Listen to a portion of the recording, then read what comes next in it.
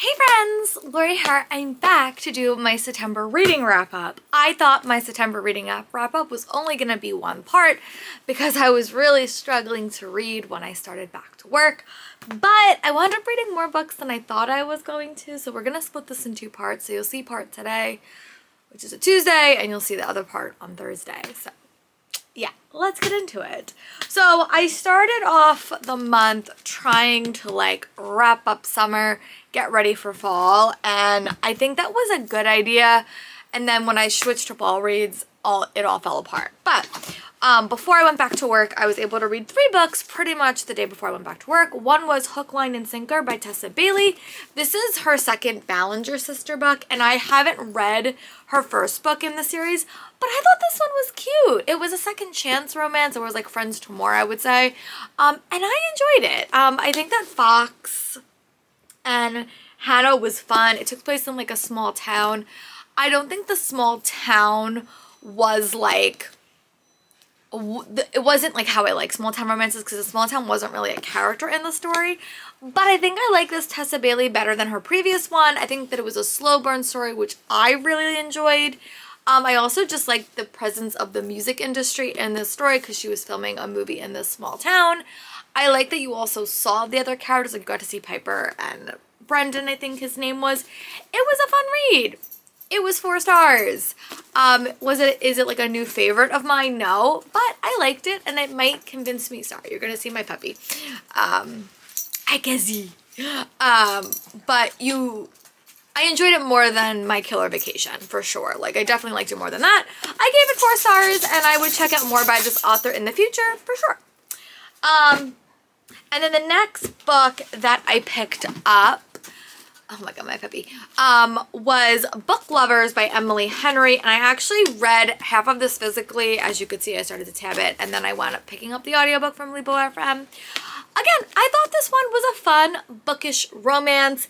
This had a small town element, and I think it did a little bit better than Hook, Line, and Sinker but it was fun. It was enjoyable. You follow this main character, Nora, and she's like the opposite of what a book is. Like, you go to a small town and your whole life changes. That's not her life. She works in publishing. Her man, oh God, what's his name? Charlie also works in publishing. They had like a meet, hate a year, a couple of years before because she's working with this author that, you know, um, she wants him to work with and things didn't work out, but they all, but, but they both get stuck in this small town for the summer it was enjoyable. I liked it. I gave it probably like 4.5 stars. I think that it was a fun, buckish romance. It was enjoyable. I really like the sister dynamic in this story. It was a, like a fun twist on a small town story because it just was, it, it was a fun twist. The romance was definitely hate to more. I liked how the small town had a solid element to it. I enjoyed it. Um, I is my first Emily Henry book. It definitely will not be my last Emily Henry book. And I really did like, um, you know, the sister dynamics in the story. So I think gave a 5 on Goodreads. I would probably have given it like 4.5 stars, but I enjoyed it and the audiobook was a fun read. Sorry, my battery died, which I'm still getting used to. Um, but I did wind up starting, um, actually I read an audiobook and that is The Last Housewife by Ashley Winstead. I will attach a photo somewhere over here um, probably before or after this clip. Um, this is the second book that I've read by Ashley Winstead. I read In My Dreams I Hold a Knife and I was not the biggest fan, but I'm pleased to report this was a very different reading experience and we're going to chat about it. I will admit, I like this book a lot better and I think it was mostly because of the characters were more likable.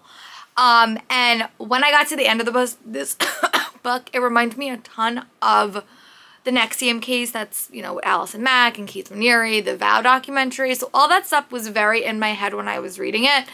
Um, and if you don't know much about that, I would not look into it until after because I feel like a couple of the reveals at the end that I didn't really notice might be spoiled. But I love this book. It was fast paced. It was quick. It was like dark. It was a dark story but just very quick storytelling. You basically follow this girl that's listening to a podcast as like true crime podcast that we all do. I know I do. I listen to a couple of them. And she's listening to a case about her best friend because her best friend has been found dead and it's hosted by someone from her past and they wind up teaming up to solve this girl's murder. Many people think it's suicide. She doesn't and as she's teaming up with him to figure out what's happening, she's also diving into her past when her and her couple best friends they joined a cult. And it's just very fascinating. There is a podcast element. It's very dark, very, very twisted, but very, very compelling. And I really enjoyed it. I gave it five stars, and I definitely want to check out more by this author in the future. I know she has a romance book that I haven't checked out yet, which is also political from what I from what I heard. Um, but yeah, so the next audiobook that I read, this is where my reading sort of fell down the hole. Like I just, I couldn't focus on anything like for pretty much two weeks. I was picking up stuff and I just put everything down. So um, I did wind up finishing The Dangerous Collaboration by Deanna Raybourn, which I think this is the third or the fourth Veronica Speedwell book. And I enjoyed it. I gave it three stars here is a photo wherever it is on the screen. Still getting used to my new editing software. But this one definitely connected more to the two main characters' past. There is still the sexual tension. Veronica Speedwell is basically a adventurer and her and her partner in crime wind up solving these crimes as they globetrot. And it's just a fun time. I love Regency romance, so it has a nice balance of that. But Veronica Speedwell reminds me of like a Sherlock Holmes character. And this one was very connected to Stoker's Past, which I enjoyed. So I gave it three stars and I hope to read more of this series in the future. And then the book that sort of took me out of my reading slump a little bit was The Drowning Summer by Christine Lynn Herman. This is the same author that wrote um, The Devouring Grey, which I loved. I would say this is more of a thriller, less fantasy, but they do have some like magical witchy elements to it. Um, so you follow these two characters, and this one is also LGBTQ+. plus. I forgot to mention that. Um, it is. So that's good. Um, but you follow these two characters, and they, one of the characters is can see the dead, or she's supposed to see her dad. Her dad and her her her I think it's her her uncle and her mom can talk to the dead.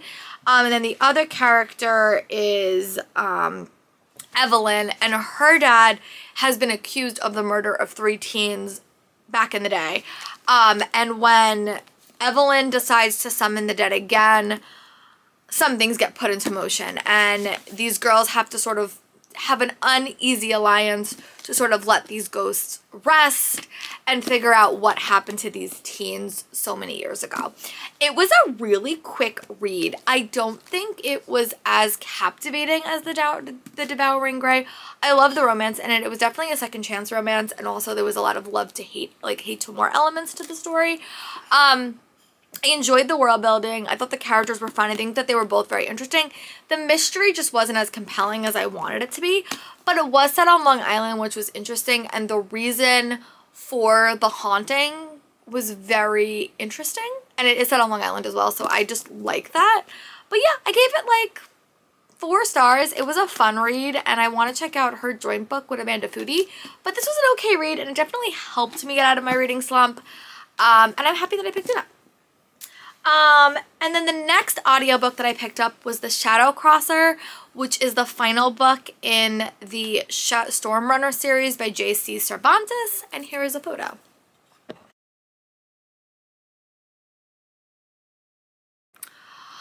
I will say I struggled a little bit with this audiobook, but I will say I did enjoy it. I gave it three stars. It just was, it was an interesting read. A little bit different from the other series, and I think it also worked to set up the next series that she's coming out with this year.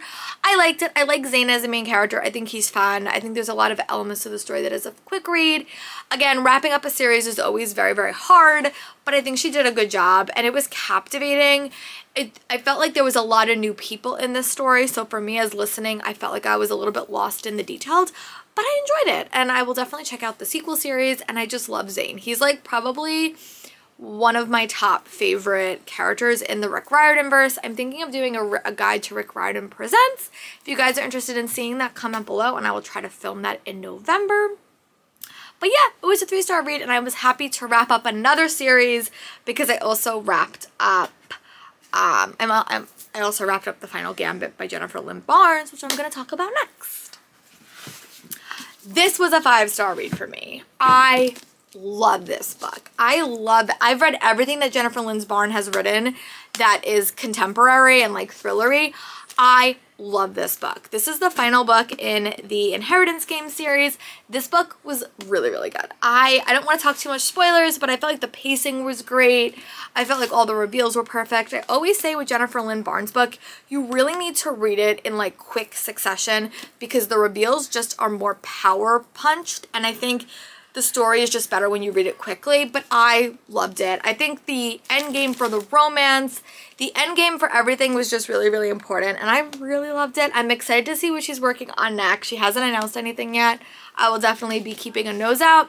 But yeah, definitely worth the read, and probably one of my only five-star reads of the month in September. So, but definitely one of my first reads I read actually for this. This is the first book I read in the month. I just read about it.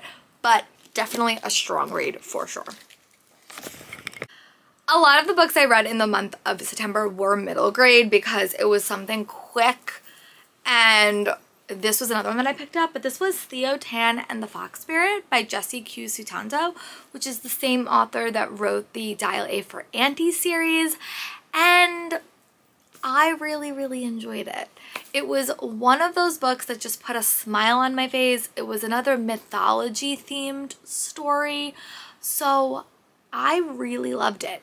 Um, I thought this book was very interesting because like another book I'm going to talk about later in the month, there was like a non-human main character. Um, but yeah, so here's a picture of it and then we're going to chat about it.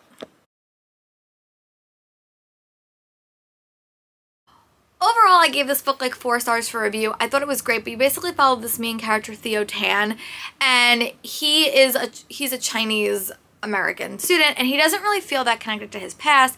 His brother um, Kai has a fox spirit and they're very, very close. And he sort of blames the fox spirit for he and his brother not being that close. But when his brother dies unexpectedly, he is forced to become partnered with Kai, the fox spirit. And things don't exactly go according to plan when they start to uncover that Kai's death may not have been due to a car accident.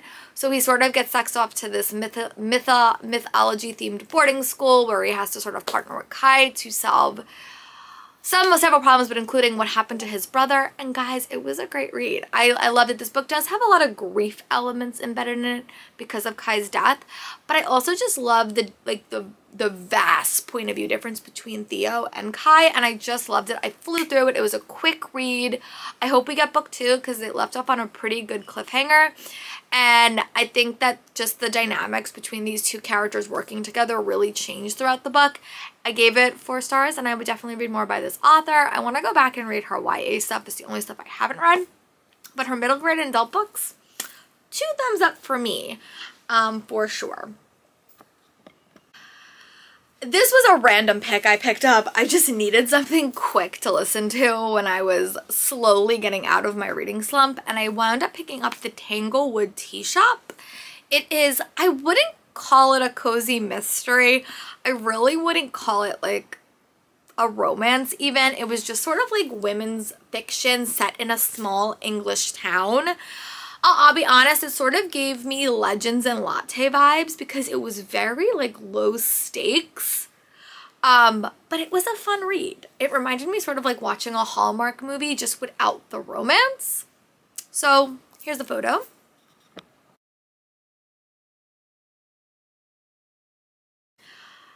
And this book was just a fun time. Follows this main character.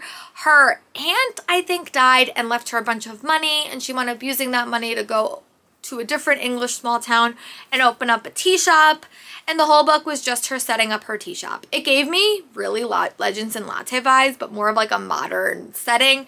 It was fun. It was enjoyable. I gave it three stars. There's two more in the series. I'll probably read them eventually. it was a fun time. It didn't wow me. It didn't walk my socks off. There was maybe the potentiality of a romance, not the point at all, but it was fun. I liked it. And if you're craving things like low stakes, like Legends and Lattes, maybe check out the series because it was very, very low stakes, but just a fun listen. So that was good. And then the last physical thing that I read for the month, well, this half of the month, was Payback's a Witch by Lana Harper. This is another LGBTQ plus story. This came out two years ago, I think. But this follows a main character named Emmy, and she has to go back to her small town to kind of preside over a magical competition. And she and a couple of her best friends are teaming up to get revenge on her ex-boyfriend that sort of drove her out of town.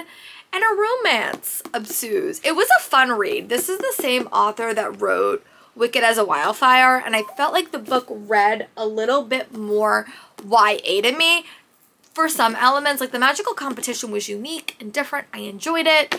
Um, the romance was fun. I want to read the other books in the series. There's like two other other ones out, but it was a fun time. I gave it four stars, and this is sort of when my reading changed a bit and I sort of just stopped being in a slump, which was really nice. So you guys will see all those books in my next video, which I will probably post probably Thursday. So stay tuned for that. Let me know in the comments what are some books you loved. Um, for me, if I had to choose one, I would say my favorite book was finally The Final Gambit of this whole month. I think it was the strongest. I read it before I was slumpy. Definitely my favorite. My weakest was probably The Drowning Summer if I had to choose a weakest. But I also had quite a few DNFs that I'm just not going to count because I read like 20 pages and was just super disinterested. Um, but yeah, that's my thoughts. Let me know in the comments what are some September books you tackled, and I'll talk to you guys for my next video. Bye, friends.